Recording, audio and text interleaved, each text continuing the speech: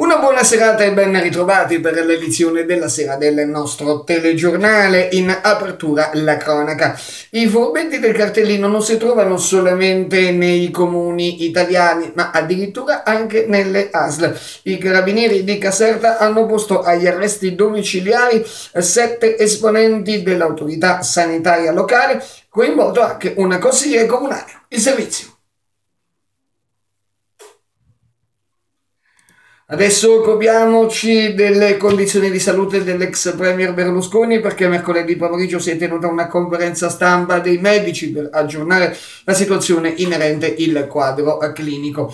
Infatti i medici hanno detto che l'ex premier è lucido ed in ottime condizioni. Lo ha riferito il suo medico personale Alberto eh, Zangrillo. Tra l'altro è tornato come al solito a fare le battute di sempre. Per l'altro medico, il dottor Alfieri, dal dal punto di vista del cuore, eh, eseguito questo intervento, abbiamo eliminato quello che rappresentava il peso emodinamico dell'anomalia. Ricordiamo che a Berlusconi gli è stata sostituita la valvola aortica. Certamente va tenuto conto dell'età e al momento non possiamo dire eh, di eh, dare a Berlusconi l'ordine di non fare politica.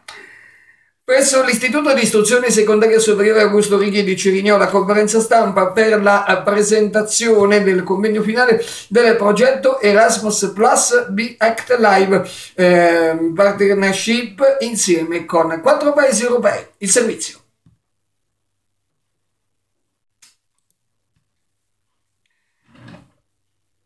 Ci spostiamo adesso a San Giovanni Rotondo perché venerdì 17 e sabato 18 presso eh, l'auditorium della Casa Solivo della Sofferenza eh, ci sarà un convegno di genetica medica dal titolo La genetica dalla ricerca alla pratica. Clinica vedrà alternarsi colleghi medici e biologi che hanno lavorato per oltre 40 anni di servizio con Leopoldo Zelante, che è stato per molti anni il medico responsabile dell'unità genetica che è morto un anno eh, fa. Tra l'altro eh, diceva sempre che il genetista ha compito istituzionale della presa in carico del soggetto ammalato e della sua famiglia per un percorso sia di terapia che di assistenza e che abbia come obiettivo l'inserimento della normalità del soggetto con difetti congeniti.